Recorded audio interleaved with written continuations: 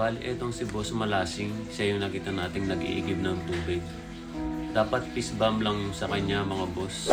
Kaso naawa tayo sa sitwasyon niya. Tignan niyo siya, walang tsinelas. Tapos mga boss, sa mga nag-experience ng maglakad sa bundok, yung wala kang dala mga boss, ang bigat nun. Paano pa kung may dala kang tubig?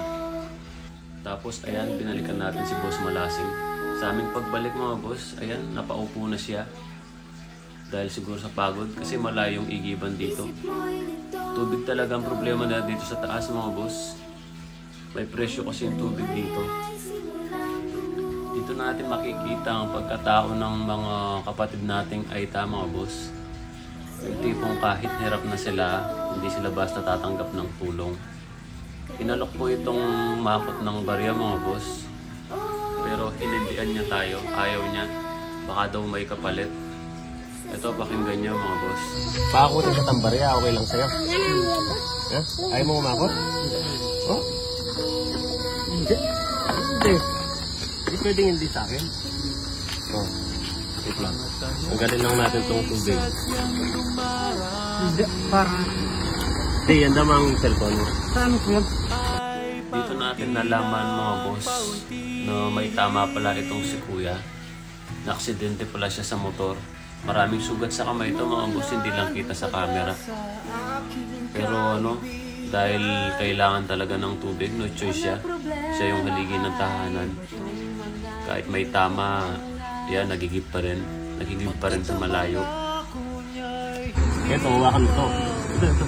Kamay mo. Ayan. Hawakan mo mahigi yan. Sila yan. Ah. Ay, pila yan. Aksidente kami. Ito mga boss, sa palaro nating ito, nabas tayo. Kesyo, barya lang daw. Hindi naman ako tumulong mga boss. Nagpapasaya lang ako, nagpalaro lang ako. May dahilan yan bakit barya. Papanood na lang sa ibang video boss para masundan kung bakit barya yung napamigay natin. Tsaka hindi naman birong halaga din yan mga boss. Ang pagkakaiba nga lang barya. Nasanay kasi tayo sa malaking halaga, papel. Bali, umabot ng 1 to yan mga boss. Malaking bagay na rin yun para sa pamilya niya. So mga boss, asawa nung pinakakot natin na ano, yung naggigib na tubig. Ito pala yung asawa niya. Anak niya to. Anak Asan siya? Tay? Ah, mag-bribe. Mag-bribe Ah. super. Like, Super, Ulim po. ah, po. super. Oh. Kaya tapang layo po sa sana. Asan yung bahay niyo, tay? Ah, Malayo pa? Mal- malapit lang po. Malapit lang lakaran? Oh. Ito mga boss, ano, pasama tayo dun sa bahay nila. Patayin lang natin ulit yung video mga boss, medyo ano, maglalakad pa para hindi umaba yung video. Ah, mga boss, punta natin yung bahay ni Boss Apam. Ah!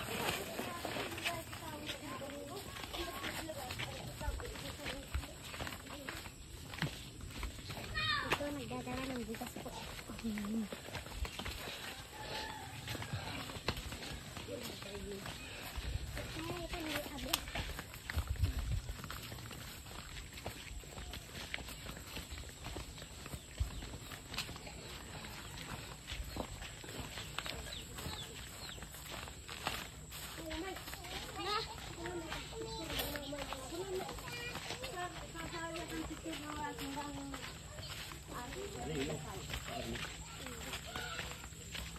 ganitong anak. Ano na ko? Ano ko kayo ng malas eh? Anase. Manilag ka sa mga. Ito mga boss, siningal ako. Ah, ari kabit ni Nase. Ito yung bahay ni Boss Malasing. Kulang na picture na kaya. Ano okay na? Ah, ari, ari mo na kami. Ikit dan niya mo na nga. Kaya ba dalamdam pa? Eh, bay. Okay yan, boss. Okay mo? Mas ka picture ka. Ang bala. Ari, ari, ari mo niya kami. Dala pang picture na ba? Ah, ari, dan yung anak niya. Eh, alaro, ari, tuwala, Siningal ako mga boss. Bayat. Nanay pala ni Boss Malasing. Ito yung asawa niya mga boss. Tapos may dalawang anak. Ito yung bahay nila mga boss. Dito yung tulugan nila.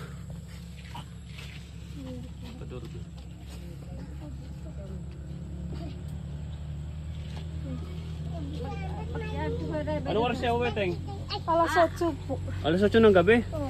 Anong oras umalis? Alas 5 po. Alas 5 ng hapon? Ab, ab, abak. Bakit? Ang tagal naman. Uuwi po alas 8 po Ba't ang tagal naman? Ano? 15 hours? Oo. Bakit ganun? Eh, doon sa May overtime po kasi. Ah, ano bang trabaho niya doon? Ah, ano, Palpentero? nagdidikit ng bag at saka wallet. Ah, doon siya sa mismong ano, sa Pearl. Oo. Matagal na ba siya doon? Ilang pang araw, ilang Ano isang po? araw. araw. Ilang araw pa lang? Umpisa po siya doon nung... Araw-araw yun, 15 hours nagtatrabaho? Oo. Ano mga boss? Saklap naman ng trabaho ni Boss Malasing. Papasok naman alas 5 ng madaling araw, uuwi ng alas 8, araw-araw daw yun. Ba't ganun mga boss? 15 hours. Tapos po namamasai po siya sa sasakyan po nila. Sa... 130. Oo, ano te, talagang 130. talagang ganun te, may service talaga. Ang inaano lang natin, bakit bakit 15 hours? Kasi uwi pa yun. Ilang oras lang yung tulog nun. Ano mga boss, kaya pala tayo bumalik dito. Dahil kay boss Nanay James Santos. Nanay James Santos, ito yung bigay mo. Ito sila, sila yung natulungan natin. Bali, Teng, may nag-donate sa inyo ng ano, 3,000.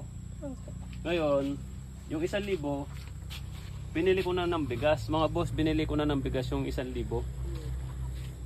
Tapos, bibigay na, bibili sana namin ng delata mga boss, kaso nasiraan kami ng kolong-kolong, baka magabi kami.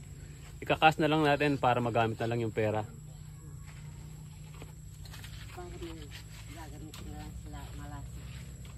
Boss James Santos, ito yung ano. Ilang taon na yung anak mo, Teng? Ano pa po? 8 months pa po. 8 months. Oo. Yung isa, ilang taon na yung panganay? Apat na taon na po. Apat na to? Oo. Mga boss, apat na taon. Ano tayong, tama na muna yung dalawa niyan, no? Oo. Yung alam mo na yung buhay natin. Nanay ni Malasing, boss. Tapos, kapag umulan, tayo hindi kayo nababasa dito. Nababasa po. Ayun mga boss. Video ano mga paks. Nababasa daw sila dito kapag umuulan.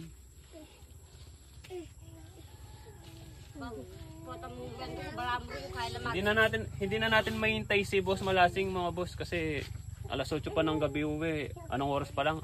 Alas 5 medya pa lang. Alas 9. Magbabiyahe pa yon. Bali alas 9 na daw makakarating dito. Teng, ikaw na bahala dito. Ano mo pala, Teng? Binilang nyo ba yung ano? Binilang nyo ba yung... Ano ba pangalan niyo? Martes po. Martes? Oo. Binilang nyo ba yung nakakot ni Boss Malasing? Bali, 1 2 po yun. 1, 2. Oo. Yung pang bariya po. Ayun mga boss, yung napakot natin kay Boss Malasing, nasa 1, 2 daw. Medyo may tama kasi yung kamay niya, kaya medyo konti yung nakuha niya. Okay na ba yung kamay niya? Okay na po.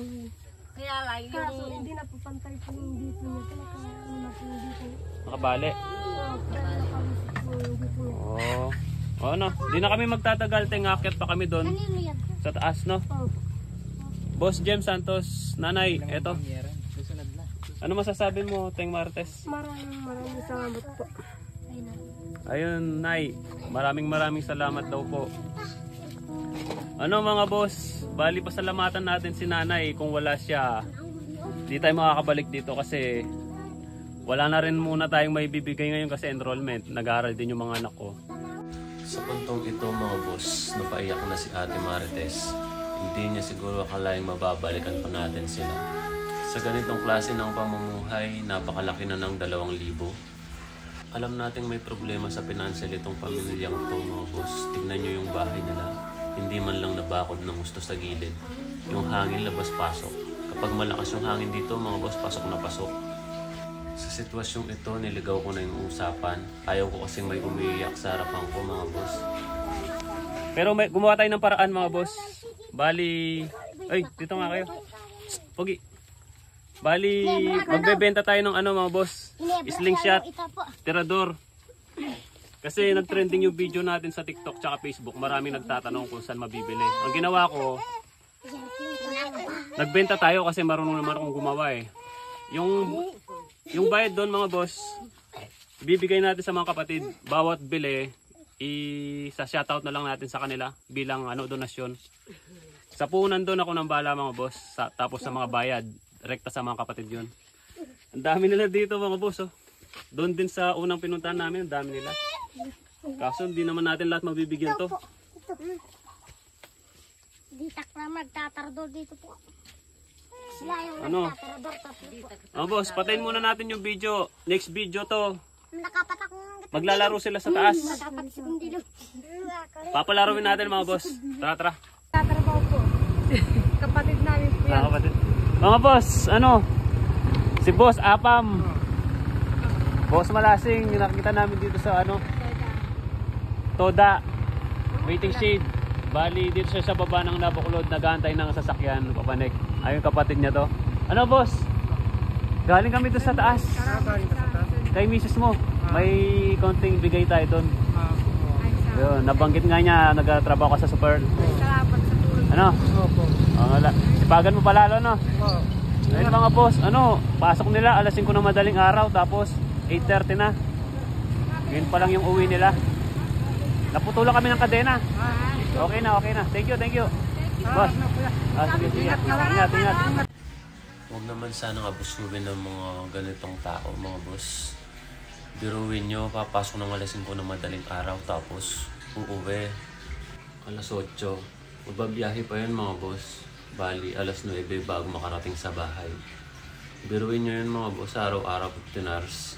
Sa kalap nun mga boss, tapos pag uwi nito, siyempre gagampanan pa niyo yung trabaho niya bilang ama. Hindi naman makakapag-igip si ate Marites. Imbes na malayo kasi yun, may dalawang maliit pa, walang magbabantay doon. Kaya hindi man ngayong gabi mga boss, mamaya madaling araw mag dito.